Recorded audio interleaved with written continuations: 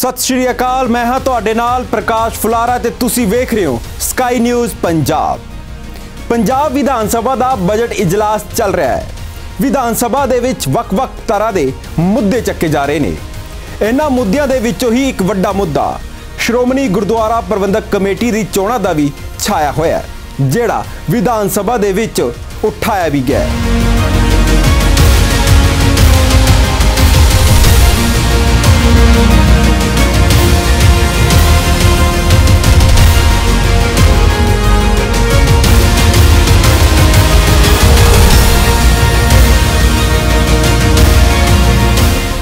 ਕਾਂਗਰਸ ਵਿਧਾਇਕ ਬਲਵਿੰਦਰ ਸਿੰਘ ਲਾਡੀ ਵੱਲੋਂ ਵਿਧਾਨ ਸਭਾ ਦੇ ਵਿੱਚ ਇਹ ਮੁੱਦਾ ਸਭ ਤੋਂ ਪਹਿਲਾਂ ਚੁੱਕਿਆ ਗਿਆ, ਜਿਨ੍ਹਾਂ ਨੇ ਜਲਦ ਤੋਂ ਜਲਦ ਚੋਣਾਂ ਸੰਬੰਧੀ ਮਤਾ ਪਾਸ ਕਰਨ ਦੀ ਗੱਲ ਆਖੀ ਹੈ, ਜਿਸ ਦਾ ਆਮ ਆਦਮੀ ਪਾਰਟੀ ਦੇ ਵਿਧਾਇਕ ਕੁਲਤਾਰ ਸੰਧਵਾ ਵੱਲੋਂ ਵੀ ਸਮਰਥਨ ਕੀਤਾ ਗਿਆ ਹੈ। ਸ਼੍ਰੋਮਣੀ ਗੁਰਦੁਆਰਾ ਪ੍ਰਬੰਧਕ ਕਮੇਟੀ ਦੀ ਚੋਣ ਕਰਵਾਉਣ ਦੀ ਗੱਲ ਪਿਛਲੇ ਲੰਬੇ ਸਮੇਂ ਤੋਂ ਚੱਲਦੀ ਆ ਰਹੀ ਹੈ।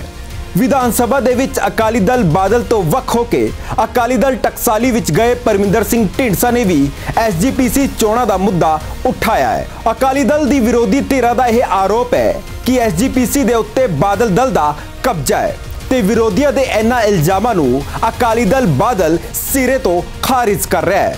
ਅੱਜ ਤੁਹਾਨੂੰ ਦੱਸ ਦਈਏ ਕਿ ਹਾਲ ਹੀ ਦੇ ਵਿੱਚ ਐਸਜੀਪੀਸੀ ਨੇ 15 ਨਵੰਬਰ 2020 ਨੂੰ ਆਪਣੇ 100 ਸਾਲ ਪੂਰੇ ਕੀਤੇ ਹਨ। ਲੇਕਿਨ ਇਹਨਾਂ 100 ਸਾਲਾਂ ਦੇ ਵਿੱਚ ਮਹਿਜ਼ 12 ਵਾਰ ਹੀ ਐਸਜੀਪੀਸੀ ਦੀ ਆਮ ਚੋਣ ਹੋਈ ਹੈ। ਪਿਛਲੇ 10 ਸਾਲਾਂ ਤੋਂ ਸ਼੍ਰੋਮਣੀ ਗੁਰਦੁਆਰਾ ਪ੍ਰਬੰਧਕ ਕਮੇਟੀ ਦੀ ਕੋਈ ਚੋਣ ਹੋਈ ਹੀ ਨਹੀਂ, ਜਿਸ ਕਰਕੇ ਹੁਣ ਜਲਦ ਤੋਂ ਜਲਦ ਚੋਣ ਕਰਵਾਉਣ ਦੀ ਮੰਗ ਉੱਠ ਰਹੀ ਹੈ। ਦਰਅਸਲ ਅੱਜ ਤੁਹਾਨੂੰ ਇਹ ਦੱਸਦੇ ਹਾਂ ਕਿ ਆਖਿਰ ਸਭ ਤੋਂ ਪਹਿਲਾਂ ਇਹ ਦੱਸਿਆ ਜਾਵੇ ਕਿ ਐਸਜੀਪੀਸੀ ਦੀ ਚੋਣ ਕੌਣ ਕਰਵਾਉਂਦਾ ਹੈ। ਐਸਜੀਪੀਸੀ ਦੀਆਂ ਚੋਣਾਂ ਕੇਂਦਰ ਸਰਕਾਰ ਦੇ ਵੱਲੋਂ ਕਰਵਾਈ ਜਾਂਦੀ ਹੈ। ਕੇਂਦਰ ਦੇ ਨੋਟੀਫਿਕੇਸ਼ਨ ਤੋਂ ਬਾਅਦ ਹੀ ਇਹ ਚੋਣ ਹੁੰਦੀ ਹੈ। ਸਾਲ 2011 ਦੇ ਵਿੱਚ ਆਖਰੀ ਚੋਣ ਹੋਈ ਸੀ। ਸ਼੍ਰੋਮਣੀ ਗੁਰਦੁਆਰਾ ਪ੍ਰਬੰਧਕ ਕਮੇਟੀ ਦੀਆਂ ਚੋਣਾਂ 2016 ਤੋਂ ਲਟਕਦੀਆਂ ਆ ਰਹੀਆਂ ਹਨ। ਸਿੱਖਾਂ ਵੱਲੋਂ 191 ਮੈਂਬਰ ਦੀ ਸਭ ਤੋਂ ਪਹਿਲਾਂ ਚੋਣ ਕੀਤੀ ਜਾਂਦੀ ਹੈ। ਇਹਨਾਂ ਵਿੱਚੋਂ ਜਿਹੜੇ 15 ਮੈਂਬਰ ਨੇ, ਉਹ ਦੇਸ਼ ਭਰ ਦੇ ਵਿੱਚੋਂ ਨਾਮਜ਼ਦ ਕੀਤੇ ਜਾਂਦੇ ਹਨ ਅਤੇ ਪੰਜ ਤਖਤ ਜਥੇਦਾਰ ਹੁੰਦੇ ਹਨ।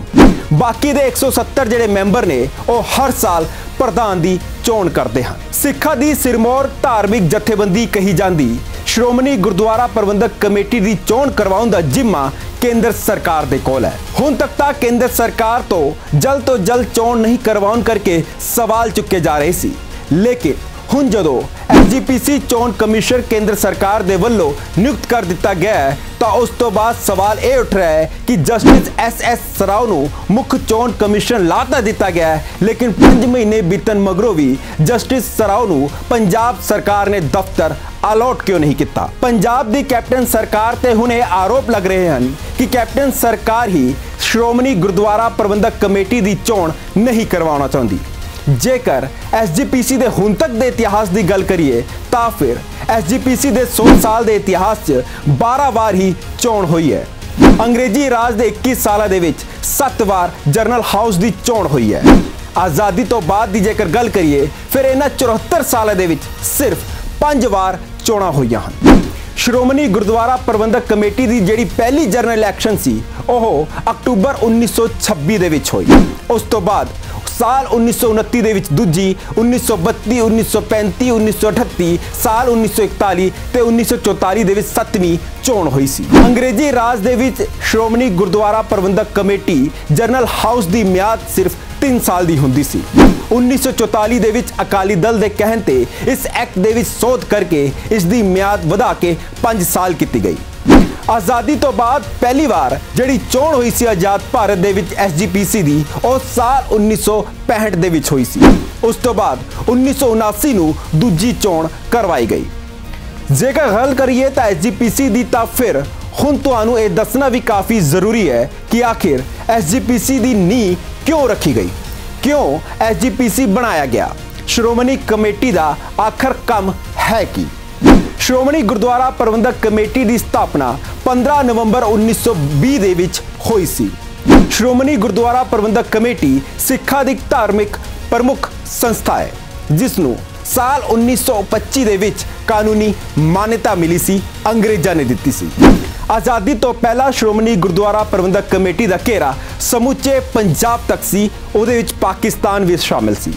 ਸ਼੍ਰੋਮਣੀ ਗੁਰਦੁਆਰਾ ਪ੍ਰਬੰਧਕ ਕਮੇਟੀ ਨੇ ਗੁਰਦੁਆਰਾ ਨੂੰ ਮਹਿੰਤਾ ਦੇ ਸਿੱਧੇ ਅਤੇ ਬਸਤੀਵਾਦ ਦੇ ਅਸਿੱਧੇ ਕੰਟਰੋਲ ਤੋਂ ਆਜ਼ਾਦ ਕਰਵਾਇਆ ਹੈ।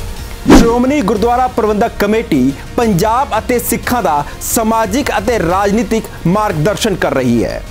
ਸ਼੍ਰੋਮਣੀ ਗੁਰਦੁਆਰਾ ਪ੍ਰਬੰਧਕ ਕਮੇਟੀ ਨੂੰ ਬਣਾਉਣ ਲਈ ਸੈਂਕੜੇ ਹੀ ਸਿੱਖਾਂ ਨੂੰ ਆਪਣੀ ਕੁਰਬਾਨੀਆਂ ਵੀ ਦੇਣੀਆਂ ਪਈਆਂ ਸਨ ਤੇ ਕਈਆਂ ਨੂੰ ਜੇਲ੍ਹ ਵੀ ਕੱਟਣੀ ਪਈ ਸੀ। ਗੁਰਦੁਆਰਾ ਦਾ ਇੰਤਜ਼ਾਮ ਸਿੱਖਾਂ ਦੇ ਹੱਥ ਵਿੱਚ ਲਿਆਉਣ ਦੇ ਲਈ ਸ਼੍ਰੋਮਣੀ ਗੁਰਦੁਆਰਾ ਪ੍ਰਬੰਧਕ ਕਮੇਟੀ ਨੂੰ ਕਈ ਮੋਰਚੇ ਵੀ ਲਾਉਣੇ ਪਏ ਸੀ। ਇਹਨਾਂ ਮੋਰਚਿਆਂ ਦੇ ਵਿੱਚ ਇੱਕ ਵੱਡੇ ਜਿਹੜੇ ਮੋਰਚੇ ਸੀ, ਉਹ ਸੀਗਾ ਚਾਬੀਆਂ ਦਾ ਮੋਰਚਾ, ਨਨਕਾਣਾ ਸਾਹਿਬ ਦਾ ਮੋਰਚਾ, ਗੁਰੂ ਕੇ ਬਾਗ ਦਾ ਮੋਰਚਾ ਤੇ ਜੈਤੋ ਦਾ ਮੋਰਚਾ ਕਾਫੀ ਅਹਿਮ ਰਹੇ ਨੇ। 1925 ਵਿੱਚ ਜਦੋਂ ਗੁਰਦੁਆਰਾ ਐਕਟ ਬਣਿਆ, ਤਾਂ ਮਹਾਤਮਾ ਗਾਂਧੀ ਨੇ ਇਸ ਨੂੰ ਆਜ਼ਾਦੀ ਦੀ ਪਹਿਲੀ ਜਿੱਤ ਵੀ ਕਰਾਰ ਦਿੱਤਾ ਸੀ। ਐਸਜੀਪੀਸੀ ਸਿੱਖਾਂ ਲਈ ਇੱਕ ਖਾਸ ਅਹਿਮੀਅਤ ਰੱਖਦੀ ਹੈ। ਪੰਜਾਬ ਦੀ ਸਿਆਸਤ ਦੀ ਜੇਕਰ ਗੱਲ ਕਰੀਏ, ਤਾਂ ਇਸ ਦੇ ਵਿੱਚ ਵੀ ਐਸਜੀਪੀਸੀ ਦਾ ਇੱਕ ਅਹਿਮ ਰੋਲ ਹੁੰਦਾ ਹੈ।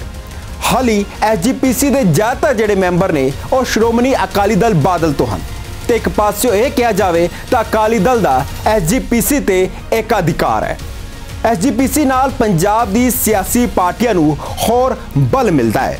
ਪਿਛਲੇ 10 ਸਾਲਾਂ ਤੋਂ ਚੋਣ ਨਾ ਹੋਣ ਕਰਕੇ ਅਕਾਲੀ ਦਲ ਬਾਦਲ ਦਾ ਐਸਜੀਪੀਸੀ ਤੇ ਹੀ ਅਧਿਕਾਰ ਹੈ। ਲੇਕਿਨ ਇਸ ਵਾਰ ਦੀ ਜੇਕਰ ਗੱਲ ਕਰੀਏ ਤਾਂ ਫਿਰ ਇਸ ਵਾਰ ਸ਼੍ਰੋਮਣੀ ਅਕਾਲੀ ਦਲ ਬਾਦਲ ਵਾਸਤੇ ਚੁਣੌਤੀਆਂ ਵੀ ਕਾਫੀ ਨਜ਼ਰ ਆ ਰਹੀਆਂ ਨੇ। ਕਿਹਾ ਜਾ ਰਿਹਾ ਹੈ ਕਿ ਮਈ ਤੱਕ ਚੋਣ ਹੋ ਸਕਦੀ ਹੈ। ਕਿਉਂਕਿ ਬਾਦਲ ਦਲ ਸ੍ਰੀ ਗੁਰੂ ਗ੍ਰੰਥ ਸਾਹਿਬ ਜੀ ਦੀ ਬੇਦਬੀਅਤ ਦੀਆਂ ਹੋਈਆਂ ਘਟਨਾਵਾਂ ਕਾਰਨ ਸੁਰੱਖਿਆ ਤੇ ਹੈ ਅਤੇ ਨਾਲ ਹੀ ਐਸਜੀਪੀਸੀ ਸ੍ਰੀ ਹਰਮਿੰਦਰ ਸਾਹਿਬ ਤੋਂ 328 ਸਰੂਪਾਂ ਦੇ ਗੁੰਮ ਹੋਣ ਵਾਲੇ ਮੁੱਦੇ ਤੇ ਵੀ ਸਵਾਲਾਂ ਦੇ ਘੇਰੇ 'ਚ ਹੈ। ਹੁਣ ਵੇਖਣਾ ਇਹ ਹੋਵੇਗਾ ਕਿ ਆਖਰ ਕੇਂਦਰ ਸਰਕਾਰ ਦੇ ਵੱਲੋਂ ਚੋਣ, ਮੁੱਖ ਚੋਣ ਅਫਸਰ ਲਾਉਣ ਤੋਂ ਬਾਅਦ ਵੀ ਹੁਣ ਕਿੰਨੀ ਛੇਤੀ ਉਹਨਾਂ ਨੂੰ ਦਫ਼ਤਰ ਅਲਾਟ ਹੁੰਦਾ ਹੈ ਜਿੱਥੇ ਬਹਿ ਕੇ ਉਹ ਕੰਮ ਕਰਨਗੇ ਤੇ ਐਸਜੀਪੀਸੀ ਦੀ ਚੋਣ ਜਲਦ ਤੋਂ ਜਲਦ ਕਰਵਾਈ ਜਾਵੇਗੀ। ਫਿਲਹਾਲ ਹੁਣ ਦੇ ਵਾਸਤੇ ਨਹੀਂ, ਹੋਰ ਤਾਜ਼ਾ ਤਰੀਨ ਖਬਰਾਂ ਲਈ ਤੁਸੀਂ ਵੇਖਦੇ ਰਹੋ ਸਕਾਈ ਨਿਊਜ਼ ਪੰਜਾਬ।